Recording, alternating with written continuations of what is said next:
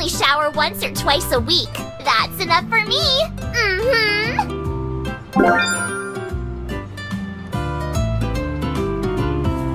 Sarah, that's wrong.